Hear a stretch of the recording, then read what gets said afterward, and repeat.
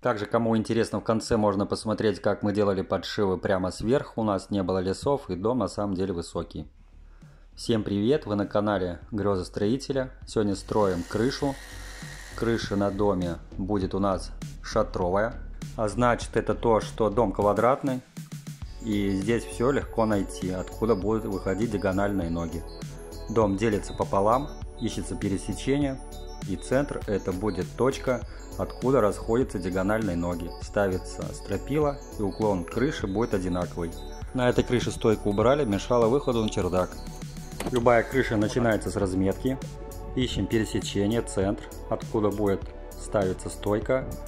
Дальше раскладываем гидроизол и устанавливаем маурлат. Маурлат у нас 100 на 150. Делаем запила, соединяем гвоздями.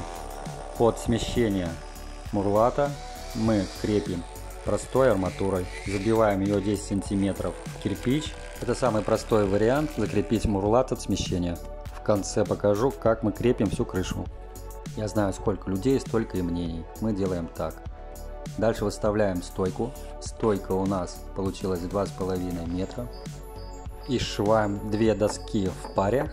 Делаем диагональные ноги. Диагональные ноги у нас получились 8 метров. Заготавливаем 4 штуки. И по одной начинаем выставлять наверх, запиливать. Снимать. Дальше запиливать другую, снимать, ставить. И в конце, когда последнюю запилили, начинаем все устанавливать кверху. Все запилы сошлись, сшиваем гвоздями.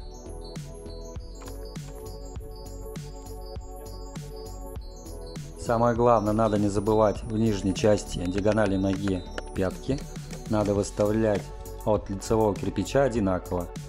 Это делается для того, чтобы когда будет подшив по дому, не выделялся шов и было ровно.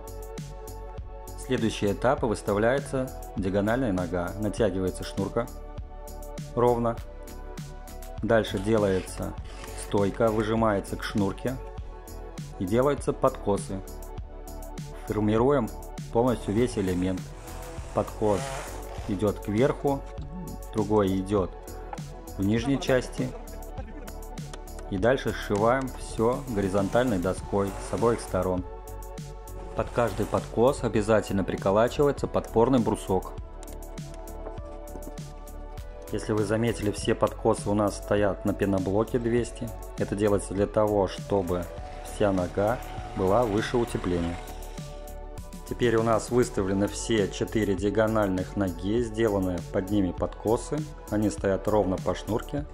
Дальше их нужно раскрепить, чтобы они не уходили ни вправо, ни влево когда будем упирать нарожники, чтобы ее не выдавить. Теперь переходим к установке нарожников. Первый нарожник запиливаем, подгоняем к шнурке в нижней части, натягивается. Получилась у нас вот такая пятка. Лучше мурлат было подтянуть внутрь дома. Но мы теперь не будем ставить подпорный брусок и сделаем зуб. И для удобства запиливания нарожников нужно сделать шаблоны, чтобы это было быстро и качественно и не отнимало много времени. Для верхней части наружника делаем тоже шаблон, делается он из железа, подгоняется к установленной стропиле наружнику, чтобы он был плотно. Дальше будет накладываться, обрисовываться. Эти наружники будем устанавливать через 70 сантиметров, потому что крыша не утепляется. Этого достаточно. От установленного нарожника отмечаем нужное расстояние. Дальше рулеткой до шнурки делаем размер, снимаем. Отмечаем на пятке зуб, накладываем шаблон. Дальше делаем нужный размер на нарожнике и накладываем все шаблоны, отпиливаем все лишнее. Дальше просто устанавливается стропили на это приколачиваем гвоздями.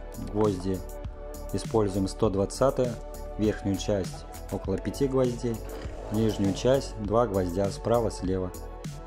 И таким методом на самом деле наружники устанавливаются очень быстро, не занимает очень много времени. Размеры дома у нас 11 на 11, дом небольшой и времени на установку этих наружников уходит около 8 часового дня. Так что, если вы еще не подписались, подписывайтесь на мой канал. Много интересной работы, много всяких крыш. Не забываем нажать колокольчик. Ну вот, с установкой наружников мы закончили. Это выглядит вот так. Теперь переходим ставить кобылки. Покажу и расскажу, как быстро заготовить кобылки, чтобы они были однообразны. Делаем из материала 50 на 120. Делается первая кобылка, прикручивается на установленный уже стропила отрезок двухметровый. Делается отрез по вертикали. Делается по горизонту нужный вылет, мы делаем 56. И делается накладка. И по вот этой сформированной кобылке нужно сделать все остальные кобылки, чтобы были похожи друг на дружку. Для этого первая кобылка обкручивается всевозможными упорами и получается шаблон. Теперь смотрите, как это работает. Вставляется двухметровый сначала отрезок, зажимается топором, потом делается накладка из горизонтальной, мы делаем это из дюймовой доски, прокручивается, дальше делается утолщение, чтобы было как и у нижней доски, и соединяется накладкой. Все прокручиваем саморезами, и отрез, который пойдет на лобовую доску, отрезается строго по нижней доске. И все кобылки делаются однообразно. Вставляется, зажимается, прикручивается, отпиливается. И тогда кобылка получается однообразно. Разницы у нее получается около 5 мм, не больше. И того нет. И все кобылки заготавливаются таким методом. И вот так заготавливается нужное количество кобылок. Дальше их раскладываем на нужные места и будем устанавливать. Устанавливается таким методом. Сначала устанавливается две крайних, а от стен мы отводим 1,5 сантиметра. Бывает такое, что стена кривая, чтобы этот момент обыграть. На две крайние кобылки натягивается шнурка, и остальные кобылки не доводим до шнурки миллиметра 3. Делается для того, чтобы не выдавить шнурку и крышу не сделать кривой. Дальше проколачиваем каждую кобылку 5-6 гвоздей. Все выставленные кобылки стоят по одной линии. И вот этот зазор от стены, который я говорил, он всегда присутствует, чтобы крышу не сделать кривой. Делать тоже обязательно. Если крыша вальмовая или шатровая, Диагональные кобылки делаются на месте, приколачиваются доски и все. На диагональные ноги кобылки приколачиваем около 3 метров, сразу же запиливаем нижний угол. Всю конструкцию нижнюю будем оформлять вот этим элементом. Крепим их между двух досок. Нижнюю часть подводим, как стоят все кобылки по стенам. Шнурка натянута до угла и широкое пространство устанавливается еще одна кобылка наружник. И вот теперь со стропильной частью полностью закончено. Дальше переходим вниз, делаем подпорные элементы на длинные скаты. Выглядит у нас вот так. Можно сделать по-другому полностью стенку. Ну, делаем облегченную крышу у нас не тяжелая. Ну вот теперь вся крыша прикручивается к дому вязальной проволокой. Засверливается арматура в нижний ряд. Конечно, это лучше четвертый или пятый, но у нас не было выбора. И кому интересно, можете посмотреть, как мы будем делать подшивы сверху. Конечно, это я не рекомендую, но у нас бывает нет выбора. Дома высокие, возиться с лесами неохота, да и неудобно. Вокруг дома одни канавы. Для этого мы крепим по периметру первую обрешетку, делаем лобовую доску и дальше прикручиваем две направляющих. Это доска дюймовка, сотка к низу. Прокручивать, конечно, неудобно, но стараемся сделать это хорошо. Дальше мы по ним будем ходить.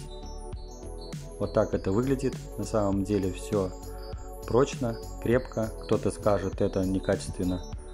Но вот посмотрите, какой высокий дом. Дальше мы крепим направляющий G-профиль пластик. Делаем соединитель и набираем пластик на весь дом периметр. У нас установка пластика софит и установка водосточной системы. Затратили всего два дня.